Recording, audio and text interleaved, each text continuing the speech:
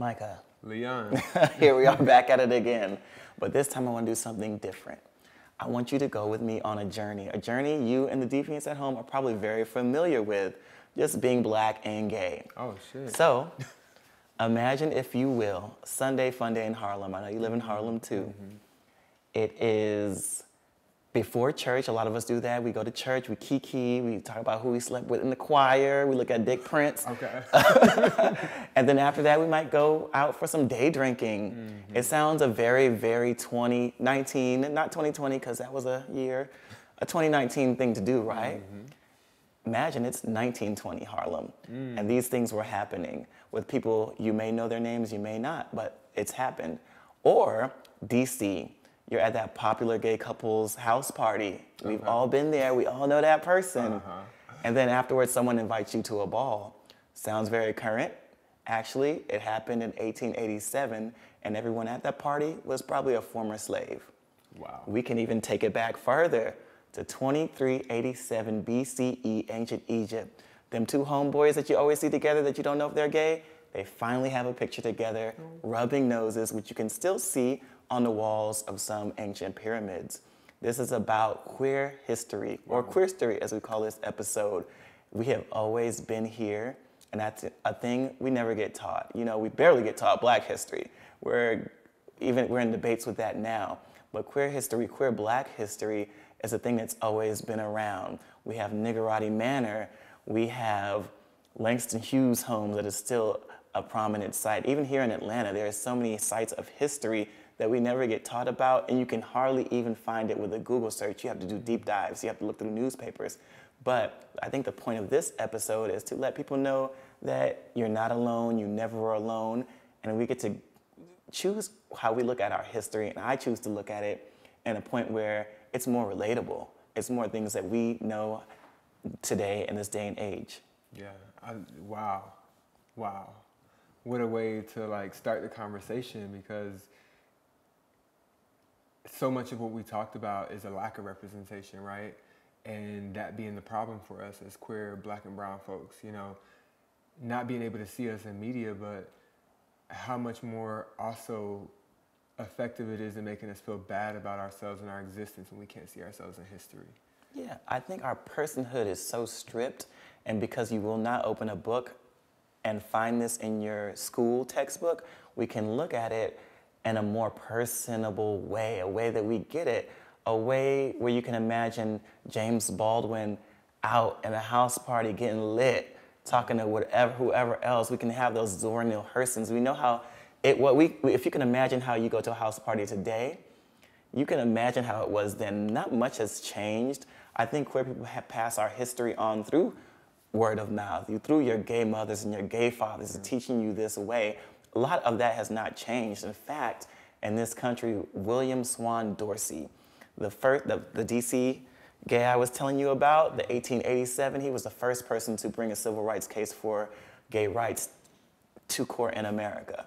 And we, you would never know that. I would never know that if I didn't research it. He was the first person to call himself, or they were the first person to call themselves a drag queen. And that is uh, fresh, fresh out of slavery. Welcome back, Deviants, to another in depth conversation about queer history, or queer story as we're calling this episode. I have the opportunity to sit with Brenton M. Brock, a PhD student at Howard University with a focus in African diaspora queer stories and history. Yes, exactly. And if there's anything else we need to know about you, please let us know. That's exactly what I do. I'm at Howard in the English department, focusing on 20th century and 21st century African American diaspora queer literature. I'm focusing on Black queer protagonists across narratives and how they experience multivarious forms of violence. So that's what, what brings you to that focus? It seems like, you know, we don't learn a lot of Black history before we get to school. Right. So, how do you even discover this trail? honestly my experience as a Black gay and queer identifying male from the South and how I have experienced violence. And it's been a way to translate my experiences through my profession and my work. So I identify as a Black queer identifying male. And I know I've experienced violence and reading different literatures and narratives and stories, I've taken into consideration how each protagonist has experienced violence. And I translate that to my professional life and my work. I know a lot of times we don't get access to our own history as queer people. I went to an HBCU, and the Where'd you world, go? FAMU, fam, Okay. goddamn you. Okay. And You- I was mm. just so surprised the in depthness of Black history because it's a, a core that you have to go through. You have to take African American history. And some of the things I was hearing I thought were lies because I've never heard it before in all my years of school. And I and even within FAM's curriculum, I didn't hear any Black queer history. So what is some what is like a book that's a must read for Black queer folks? Well, first I would say congratulations to FAMU. You all have a winning football season this year. Congratulations. I do understand that HBCUs, we are still, for the most part, homophobic in how we narrate our history. And so I can imagine, I went to HBCU as well and work at a HBCU where we have to find our history for ourselves as Black queer people. However, to answer your question about which book you should read, now I study literature, hmm. so I will say Daniel Black's Perfect Peace. Okay. It is a novel that was written, I think, in 2010, to where it explores gender in ways that will blow you away. I think every black queer person should read that novel. It's a protagonist that is assigned a gender that is not her biological sex and how the protagonist lives in a way trying to subscribe to gender roles because of the culture, the black culture, trying to say you must act like a man, you must act like a woman. So I don't want to give the novel away, but to mm. answer your question in a very brief way, you should read Perfect Peace by Daniel Black. All right. And you're talking about gender roles within the culture. I know for me, for what I've learned, sometimes gender roles are like we tell our black girls to be strong because we don't want them to be abused out, out in the outer world. We tell our black boys to calm it down some because we don't want them to be killed, at least historically. I'm, I'm thinking, I'm saying. How do we, is that something we need to talk about? Is that a narrative we need to change now that we're 2021, 2022? Very fascinating question around do we need to change? I understand that it is oppressive to tell young black women that they need to be strong. In a lot of ways, it's dehumanizing to tell them to be strong, which negates their humanity to cry or to be vulnerable, even though vulnerability is a category of strength. And we tell black men to perform masculinity, toxic masculinity, as a way to survive. But I do think what we're hinting at is like r- black respectability. How do we navigate respectability as a technology of survival so that we can be palatable to whiteness?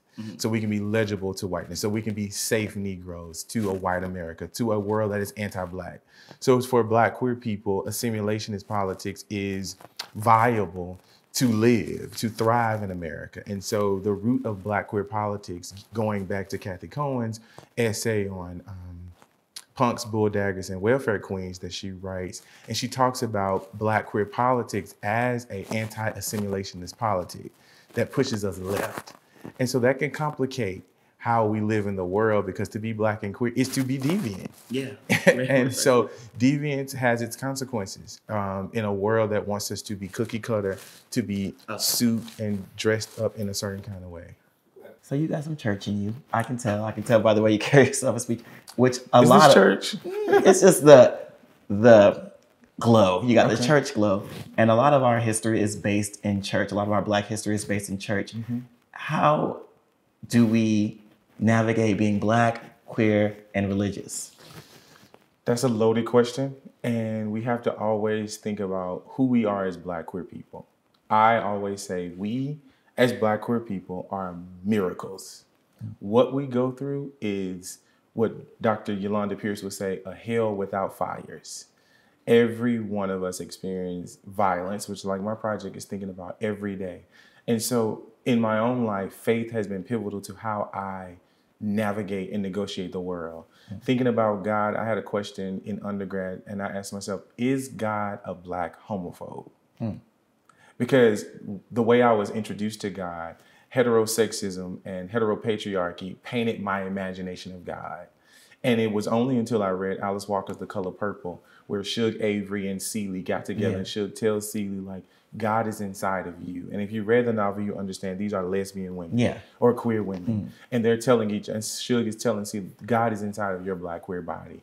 And so for me, I had to actually come to a theological foundation for myself because being rooted in the South, coming from Selma, Alabama, the mother of the social justice movement, God was still social justice, but that was limited. Mm. It did not justice did not roll down like a river towards the black trans woman or the black disabled per, trans woman as well, or the black queer identifying person. And so for me, we have to be okay with carving out theological discourse for ourselves to where scripture may be the 66 books of the Bible, but I may read James Baldwin's Fire next time, where he says, if God is not for us, then we may need to get rid of it. Oh, wow. And that's okay because we want to have a, an imagination of God that includes us. Mm-hmm. God and religion has been a reserved space for black straight people only. And I'm specifically thinking about the black church. Mm-hmm. Um, and I'm speaking generatively because we do have different black churches who are affirming. I went to a gay affirming church today. However, when we think of black Protestant denominations, we are still black queer people lobbying for marriage, lobbying for ordination. And why is that the case when we have already done the work of social justice?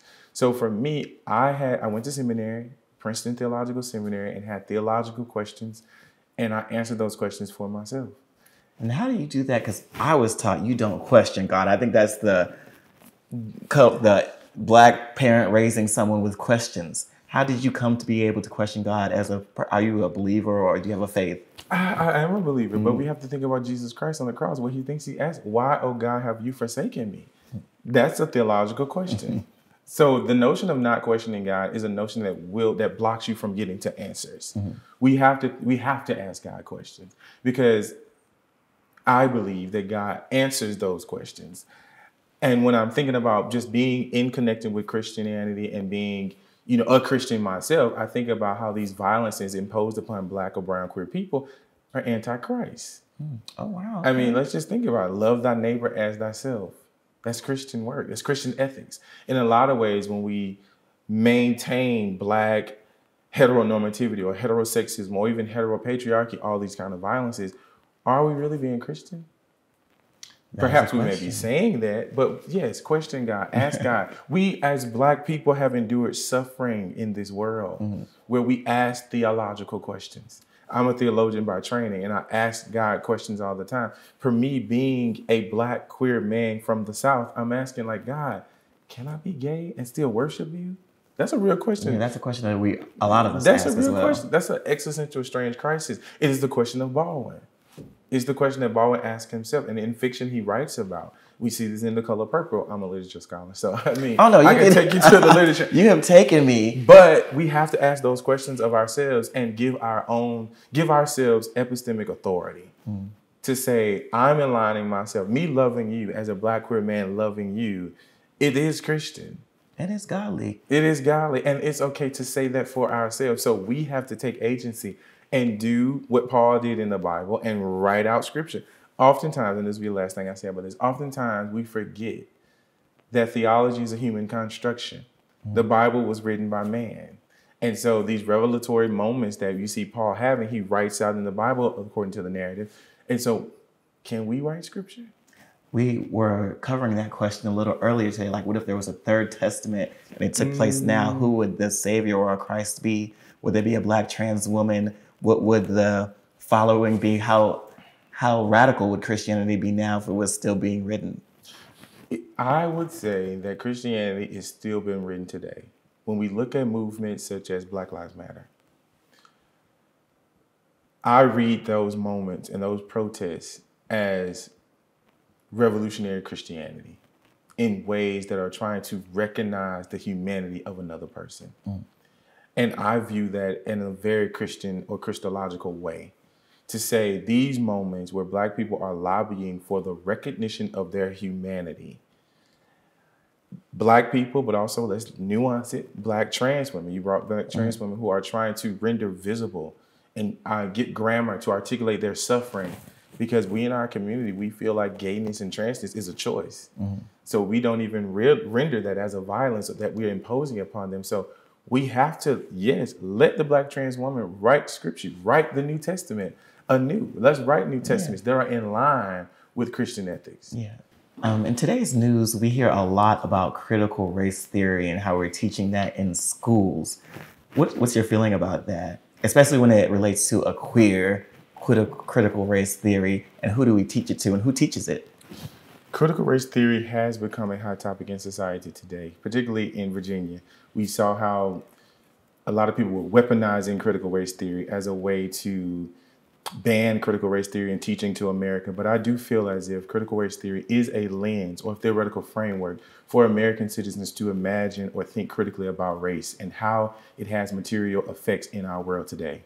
As it relates to queer people, we have to consider how race dictates, impedes, and mediates our experiences as American citizens. We are black queer people, or we are brown queer people. And so we have to always have a race and class analysis in how we think about our world today. So when we think about critical race theory and teaching it, we should teach it because we are all race subjects. Whether you are white, black, brown, or whatever your ethnicity is, we all are race subjects in this American schema. So to teach critical race theory is not anti-white it is a real way to think about American democracy and how do we get towards American democracy, acknowledging the cultural diversity, but also saying this is our history. Mm. And this is a framework to look at how race fundamentally in, animates our legal system. So for me, as a black queer person, we should definitely invest in critical race theory, but to think about intersectionality, to think about how race, gender, class analysis animate our lives today. So I would say we definitely need to think about, we have to be invested in critical race theory to push us towards a more democratic society. Do you see yourself in politics? Do I see myself in politics? Hmm. I do not. I would love to be a professor. I would teach the politician. Do you think you can do more real work outside of being a politician by being a professor and by teaching? You could do more radical work because I know politicians are stifled sometimes when they get in office politicians and politics is a game. Mm-hmm. And so you have to appease your audience in ways that I don't know if I'm committed to doing that work. However, I'm always for lobbying on behalf of people who cannot lobby for themselves. So in a lot of ways, I have a politic, mm-hmm. but I don't know if I would um, align myself with American politics as of now. Okay. If I feel the need, I would definitely go home to Alabama and run for politics, oh, yeah. run for an office so that I can you know, use legislation to lobby for our people to get the resources that they need because it's important work. It is important work. Now, they told me about you. Okay. And you're a wealth of information, but they probably didn't tell you about me. Okay. So let's have some fun. Let's do it. Now, thinking through queer black historical figures, which one would you smash? Smash? Mm-hmm. Smash. Mm-hmm. Let have some. Let have a some. little session. A little session. I do Could not. Baldwin get some? Could Baldwin, or Baldwin just be a friend? Baldwin would be a friend. Everyone would be a friend. I mean, Langston could get some.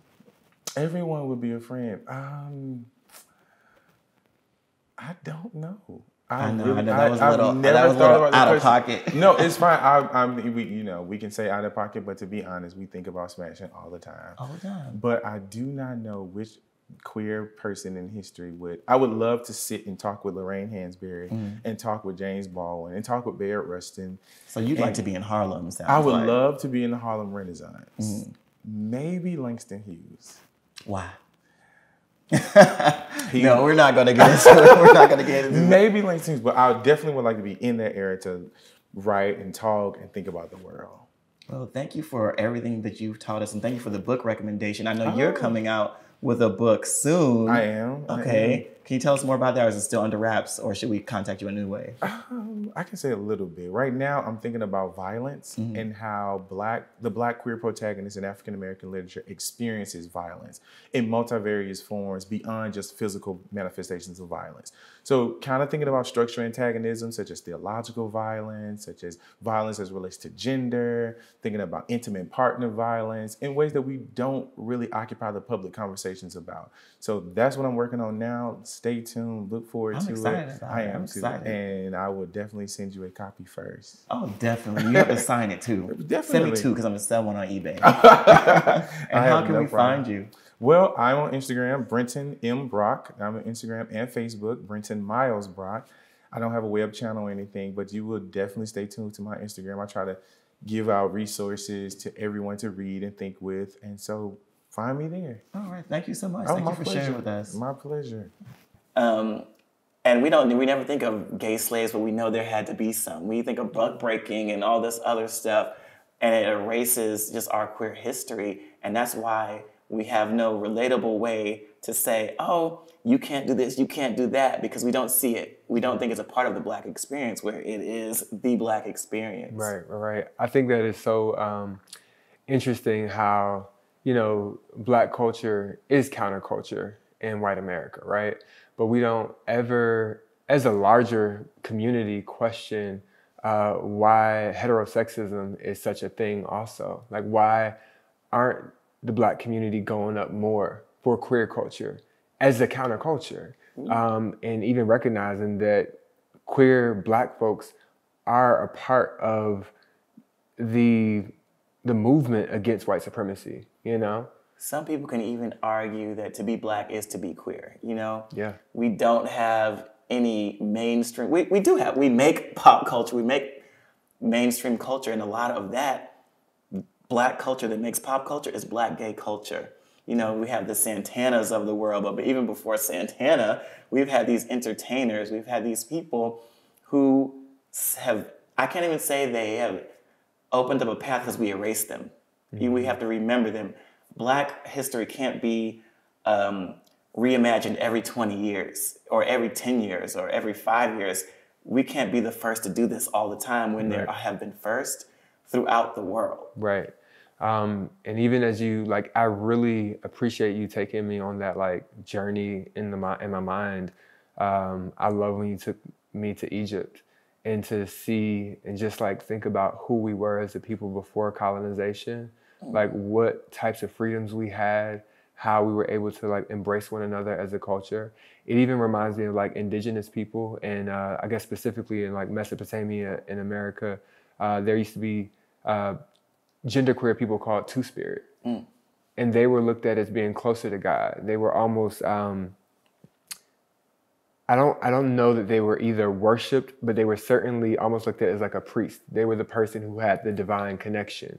And to think that like in indigenous culture, we've come from that to now living in a society where we're taught uh, to hate the trans and non-binary bodies so much that they're met with the threat of death on a daily basis. Yeah, we don't see it as divine anymore. I know somebody on Twitter said when Cleopatra got the bang and the bob, the gays had the gag. I saw that, yeah. and that is, it just speaks to, because they probably did. Yeah. It just speaks to how much, no matter how many things change, things are still the same. And the beautiful thing about black queer culture is because it's not so mainstream, is because it had to be passed down by someone to meet someone else is that we get to have these imaginations. We are we're the same. We you know.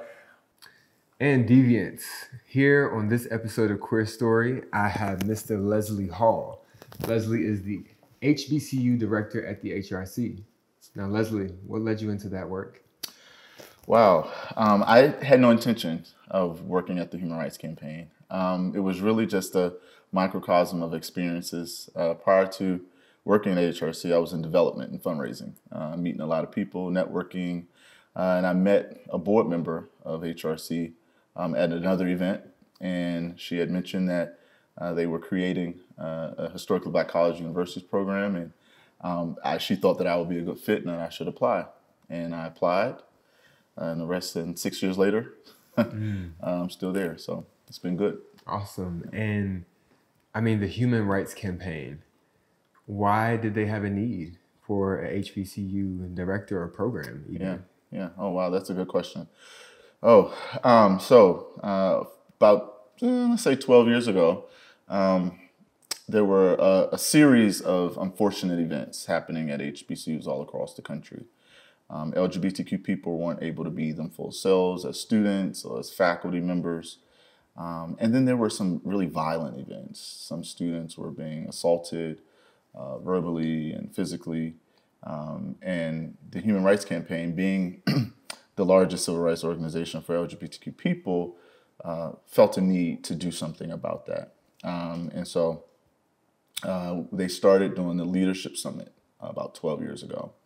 Um, and that's when they bring uh, LGBTQ HBCU students to DC for a week of leadership development training, uh, identity development, relationship building, Um, but more importantly, we wanted to train those students to be able to be uh, change makers to go back to their campuses uh, to to make a difference. And um, uh, over those over that period of time, HRC realized that students are transient. They graduate. They they are not always as reliable. Um, and so they needed to focus more so on the staff portion and the, and, and the university leadership to create more sustainable solutions to these issues. And so um, they needed someone with my experience in order to do that. Uh, and so, uh, you know, six years ago, they, they recruited a, a, di- a director, and I've been there ever since. That's amazing. So, uh, HBCUs, uh, it sounds like the HRC has really tapped into uh, the Black elite. You know, they've tapped into a group of people. Uh, black folks who go to HBCUs are astronomically uh, higher percentage wise of going into professions. Sure. Is that in, No, you're spot on. I mean, um, the, the the bulk of our doctors and lawyers um, and professional folks that, that we see in the world all receive their their either their undergrad or both professional and undergrad degrees from HBCUs. I mean, Howard alone is the leading producer of black doctors and lawyers Wow. um, in this country. Um, Phenomenal. period. You know, and so Yeah. um, when you add in other institutions like Southern University, who has a law center, and Texas Southern, who has a law center, um, Howard is one of the only uh, HBCU medical schools that are there. We have Meharry Medical School, which is in um, Tennessee, and then uh, another medical school in, in LA. But those, that's it. Um, but but you know Howard alone, and I'm not just saying this because I'm a Howard alone, but Howard alone, you know, the bulk of your dentists, uh, doctors, lawyers, uh, black dentists, black law- doctors and lawyers all come from from HBCUs. And that is so powerful to me as I hear it because these are black folks who are going to go back to their communities, or even if they don't go back to their communities, they are doctors and lawyers that we can identify with as, Right. as black folks. You know, uh, they're now somebody I can be honest and transparent with when I'm talking about my health and health care. This is fantastic as it literally like paves the way for uh, an amazing future for black folks, right? But this episode is, you know, also about queer story, right? Queer history. Um, who are the whose shoulders do you sit on today? Right. As yeah, as you're the HBCU director at the HRC. Whew, yeah, I mean, my my my. I mean, I there's so many folks, both you know, who are known and who are unknown, whose shoulders that I that I stand on, and I'm still learning of shoulders that have paved the way. You know, folks that have paved the way for me. But um, you know, to that question, I the the most prominent person that I kind of engage with on a daily basis in, in literature, because he's not alive, um, is uh, Dr. Alain Locke. Um, and he uh, was an openly uh, gay um, at the time. That wasn't a thing, but he wasn't straight. um, professor at Howard University. he has a building named after him now. Um, but he is credited with being the father of the Harlem Renaissance. Um, he was the mentor to Langston Hughes.